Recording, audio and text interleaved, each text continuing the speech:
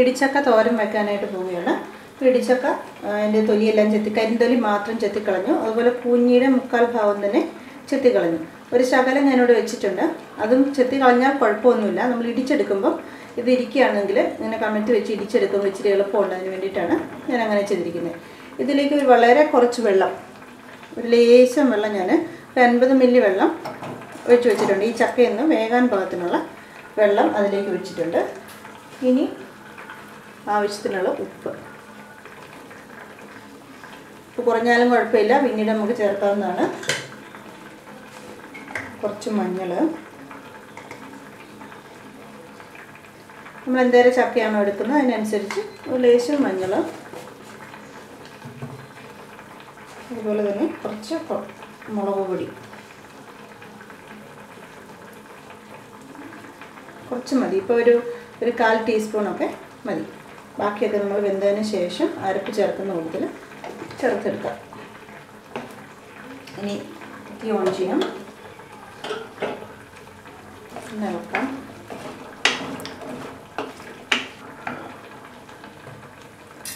നമുക്കിത് മൂടി വെച്ച് വേവിക്കാം. അപ്പോൾ ഇത് വേവുന്നിടം വരെ നമുക്കിനി കാത്തിരിക്കാം. അപ്പോൾ ബാക്കി ഇതിന് വേണ്ട അരപ്പും ബാക്കിയുള്ള ഇൻഗ്രീഡിയൻസും ഒക്കെ നമുക്കൊന്ന് കാണാം.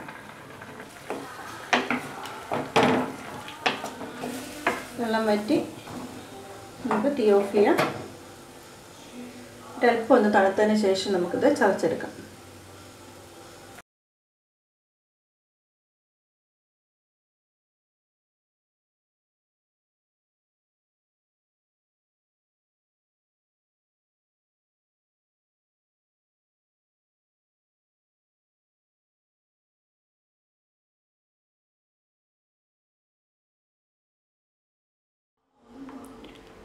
ഇടിച്ചക്ക തോരൻ വെക്കാൻ വേണ്ട ഇൻഗ്രീഡിയൻസ് ബാക്കി ഇൻഗ്രീഡിയൻസ് ആണ് നമ്മളിപ്പോൾ കാണുന്നത്. തേങ്ങ ഒരല്പം അല്പം എന്ന് പറഞ്ഞാൽ വളരെ കുറച്ച് മുളക് പൊടിയും ഇച്ചിരി മഞ്ഞളും കൂടെ ചേർത്ത് ഒതുക്കിയെടുത്തിരിക്കുന്ന തേങ്ങയാണിത്.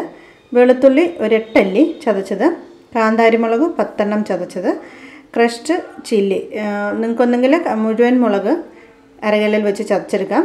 ഇല്ലെങ്കിൽ ഇങ്ങനെ ഇങ്ങനെ ഉണ്ടെങ്കിൽ ചതച്ചതുണ്ടെങ്കിൽ അത് ഉപയോഗിക്കാം. അതുപോലെ ചെറിയ ഉള്ളി ഒരു എത്ര എണ്ണം എടുക്കുന്നോ അത്രയും നല്ലതാണ്. ഞാനിവിടെ ഒരു പതിനഞ്ചെണ്ണം എടുത്തിട്ടുണ്ട്. അതും ചതച്ച് വെച്ചിരിക്കുകയാണ്. ധാരാളം കറിവേപ്പില. പിന്നെ നമ്മൾ ഓൾറെഡി ഇടിച്ച ഇടിച്ചൊക്കെ വേവിച്ചത് ഇത് ഞാൻ ചതച്ച് വെച്ചിരിക്കുന്നതാണിത്. ഇനി നമ്മൾ ചെയ്യാൻ പോകുന്നത് ചട്ടി എടുക്കുക. ഇച്ചിരി ഏറെ എണ്ണയൊഴിച്ച് കടുക് തളിച്ചതിന് ശേഷം ഇതെല്ലാം കൂടിയിട്ട് നന്നായിട്ട് മൂപ്പിച്ച് വഴറ്റിയെടുക്കാം. ഒരു ചട്ടി അടുപ്പിലേക്ക് വെക്കുക. തീ കത്തിച്ചു. ഇത് നമുക്ക് ഇച്ചിരി ഒരു മൂന്ന് നാല് ടേബിൾ സ്പൂൺ എണ്ണ ഇതിലേക്ക് ഒഴിക്കാം.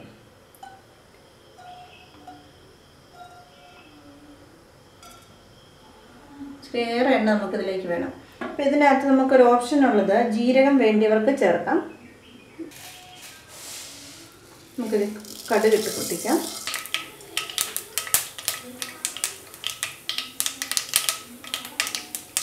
രണ്ട് വറ്റൻമുളകും ഇതിലേക്ക് മുറിച്ചിടാം.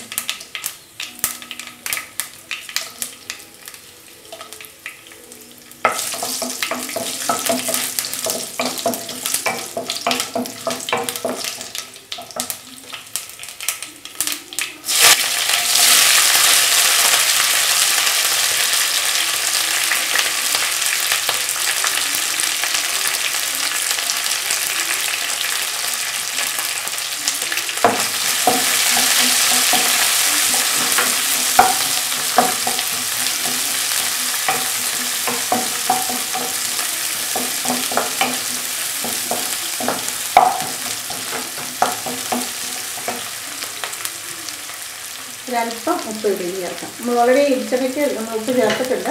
അത് നോക്കി വേണം ചേർക്കാനായിട്ട്.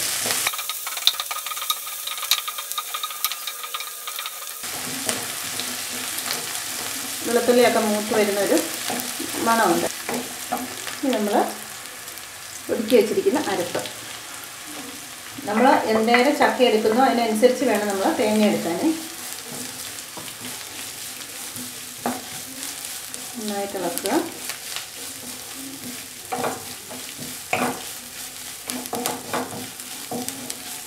ഇനി നമ്മുടെ ചക്ക പിടിച്ചു വെച്ചിരിക്കുന്ന കൂടെ. അതിലേക്ക് ചേർക്കാം.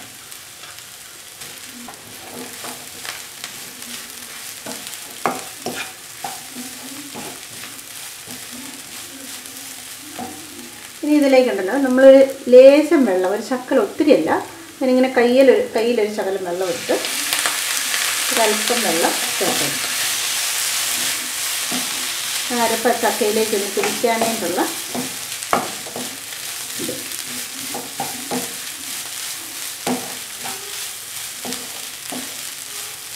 ഉപ്പുണ്ടോ എന്ന് നോക്കുക ഉപ്പില്ലെങ്കിൽ നമുക്ക് ലേശം ഉപ്പിട്ട് കൊടുക്കണം. കുറച്ചും കൂടെ ഉപ്പ് നമുക്ക് ചേർക്കാം.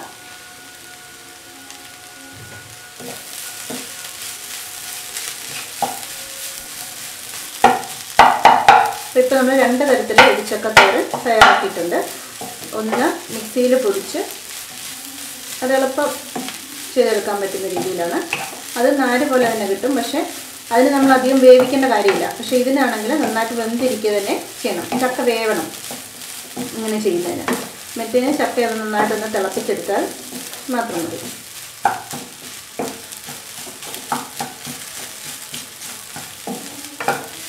ഇനി നമുക്ക് തീ കുറച്ചിട്ട് ഇത് മൂടി വയ്ക്കാം കറിവേപ്പില ഇച്ചിരി ഏറെ ഇതിനകത്തോട്ട് ചേർക്കണം.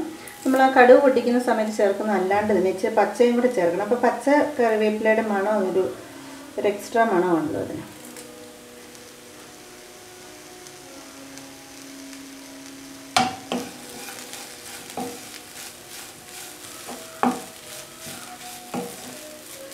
നിങ്ങൾ ചക്ക ഇങ്ങനെ എടുക്കുമ്പോൾ ഉണ്ടല്ലോ ഇൻ കേസ് ഇനി ഇച്ചിരി വേവ് കുറയുമോ എന്തെങ്കിലും ചെയ്തിട്ടുണ്ടെങ്കിൽ ഒരു അല്പം വെള്ളം ഒത്തിരി ഒഴിക്കരുത് കുഴഞ്ഞു പോകാനായിട്ട് ഒഴിക്കരുത്. കുറേശ്ശെ വെള്ളം ചേർത്ത് മൂടി വെച്ചിരിക്കുക. ഒരു ശകലം എടുത്ത് നമുക്ക് കഴിച്ച് നോക്കണം ഇടയ്ക്ക്. ഉപ്പും അതിന്റെ ടേസ്റ്റൊക്കെ നോക്കാനായിട്ട്.